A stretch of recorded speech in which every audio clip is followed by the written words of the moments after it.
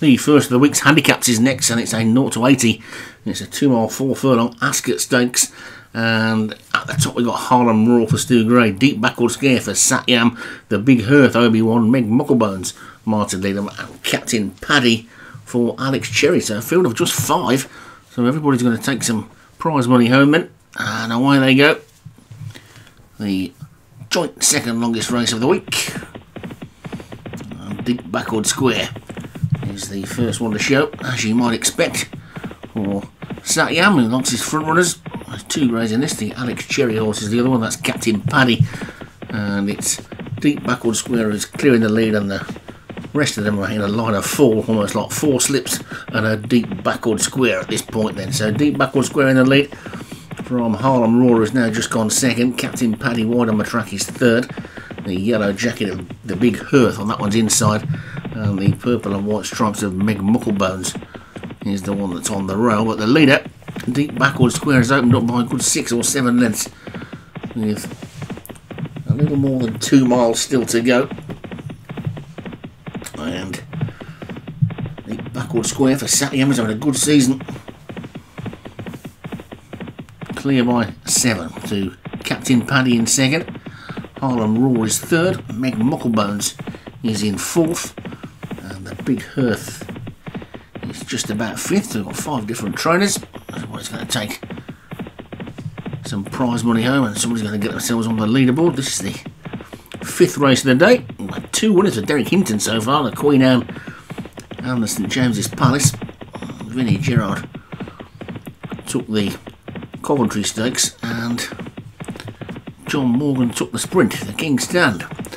And it's Deep Backward Square in the lead, who's trying to give Satyam the Ascot Stakes, with Captain Paddy back in second. Harlem Roar is third, and Meg Mucklebones is fourth, and the Big Hearth is fifth.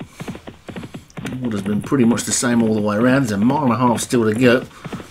And Satyam Sandra Sagam's Deep Backward Square continues to show the lead.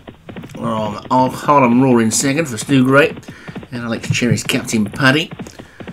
Obi Wan's the Big Hearth, and then Meg Mucklebones in the purple and white stripes for your commentator is the back marker, but it's deep backward square. Who's the leader?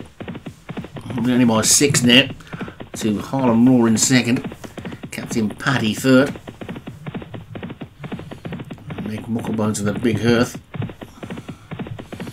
And they seem quite happy to let this deep backward square have the lead seem all that keen on reeling him in at the moment.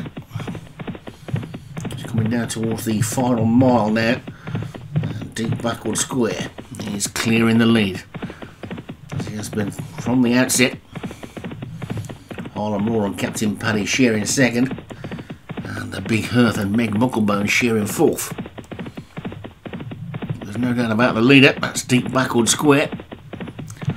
Still six clear with seven to go. And Captain Paddy, who's now starting to make a move as the chasing pack starts to get a little bit closer. The lead's down to five now. Deep backward square still in front though from Captain Paddy second. Then Harlem Roar. Meg Mucklebones is next and then the Big Hearth. Deep backward square. Continuing to lead, Captain Paddy, the bottom weights in second. Then Harlem Roar, the top weights in third. Big Hearth and Meg Mucklebones are next. We've only got five furlongs to go now. Start the turn for home shortly, and the leader, Deep Backward Square, is now only two lengths clear of Captain Paddy in second, the Big Hearth third, Meg Mucklebones is fourth, and Harlem Roar is fifth. Three and a half furlongs to go. Deep backward square still in front. Meg Mucklebones, though, is being shook up now to come through to challenge into second. Then comes Captain Paddy and the Big Hearth. Harlem Roar struggling under the weight at the back, back deep backward square kicks on again with two and a half to go. Meg Mucklebones throws down the challenge. Now Captain Paddy on the lightweight is third, then the Big Hearth, and finally Harlem Roar. But Meg Mucklebones hits the front with two furlongs to go. It's Meg Mucklebones who's gone on from deep backward square. Captain Paddy and the Big Hearth. I think you can forget Harlem Roar. There's a furlong to go, and Meg Mucklebones is too clear, but the Big Hearth and Captain Paddy are closing. Meg Mucklebones is too clear from the Big Hearth in second. Captain Paddy's back in third. The rest are beaten. Meg Mucklebones in front. Of the Big Hearth closing with every stride, though. Meg Mucklebones needs the line to come. The Big Hearth is getting closer, but Meg Mucklebones hands on to take it. The Big Hearth is second, and then Captain Paddy and Harlem Roar and deep backward square after that one. And Meg Mucklebones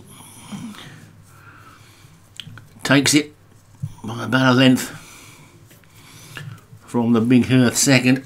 So Meg Mucklebones wins it for Martin Leland. The Big Hearth Roby won second. Captain Paddy Alex Cherry was third. Harlem Roar Stu Gray fourth. And long time leader Deep Backward Square for Satyam Sandrasegam was fifth.